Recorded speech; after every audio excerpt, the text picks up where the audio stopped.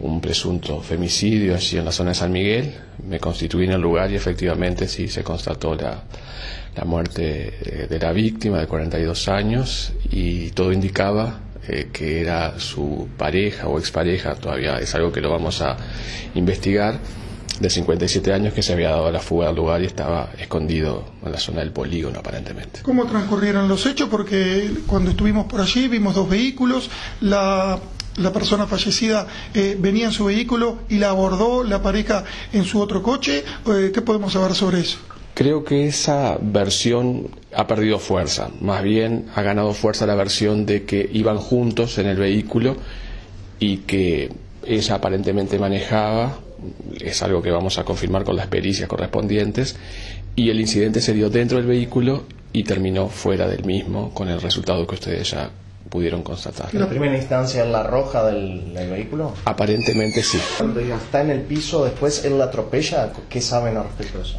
Parece que, no sé si él la atropella o es el propio vehículo que, que, que en el impulso la pasa por encima. Es algo que las pericias van a determinarlo posteriormente, porque las pericias no se pueden hacer de un día para el otro, es decir, tienen un tiempo. Doctor, acalorada discusión para repasar dentro del coche, en principio, eh, ¿la persona es arrojada o se arroja del mismo? ¿Fue apuñalada? Sí, sí, 40 puñaladas, me, me informó hoy a primera hora el médico forense, él tiene que hacer la autopsia correspondiente, pero me hizo un adelanto para que viera la gravedad del caso, ¿no? ¿Por la espalda? Por todos lados. Esta pareja tenía, ¿qué puede, se, pudo saber con los primeros testigos o las primeras eh, informaciones que recibieron? ¿Estaban separados o convivían? Es algo que tenemos que confirmar.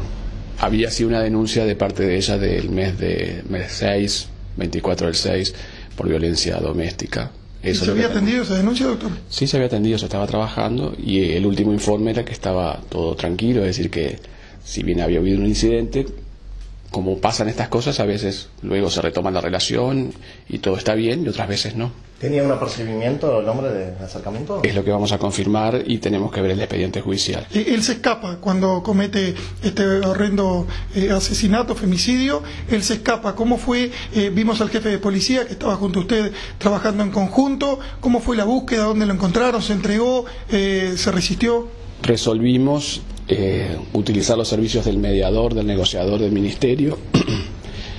Eh, y conjuntamente con él fuimos hasta la unidad de violencia doméstica y allí como que se estableció la base de operaciones, por decirlo de alguna manera. Y mm, luego, con el trabajo muy arduo de ellos y del el comisario de la primera, se logró la detención. Es decir, debo destacar una vez más el excelente trabajo policial coordinado con científica, PADO, y todas las unidades. Esto va a ir a juicio, entonces nosotros tenemos que ir armando el puzzle pieza por pieza y cada testimonio, cada video, cada foto, cada filmación, todo cuenta en pos de un objetivo que es lograr una condena. Las cámaras de seguridad son fundamentales. Vimos que usted, junto al jefe de policía, recorrieron algunas casas que tienen, ¿no? Eh, hasta ahora no, pero este sí, eh, nos constituimos personalmente y fuimos por varias casas preguntando y solicitando la colaboración de los vecinos que una vez más, insisto, es fundamental para resolver casos de este tipo o cualquier otro. ¿El hombre fue capturado próximo a la terminal de ómnibus? Sí, sí, sí, sí, ¿En qué situación lo, lo, encuentran, digamos, consciente de lo que había pasado? plenamente, plenamente consciente y no se resistió al arresto. Eh, fue un gran trabajo, insisto, del negociador y, y del comisario la primera. ¿El arma blanca le, aportaba o, había dejado en el lugar? Hasta ahora no se ha incautado, si bien se está buscando. ¿Se, formalizará eh, en esta jornada al, imputado? Esa es mi idea, pero eh, estamos trabajando en la recolección de las evidencias mínimas, pruebas mínimas, para lograr esa formalización, porque no han pasado ni siquiera 24 horas. Entonces, este, estoy exigiendo a la policía, sé que un trabajo muy arduo para que colecte la mayor cantidad de evidencias en poco tiempo, pero a su vez que lo haga de una forma correcta, porque como esto va a juicio, tiene que estar todo perfecto.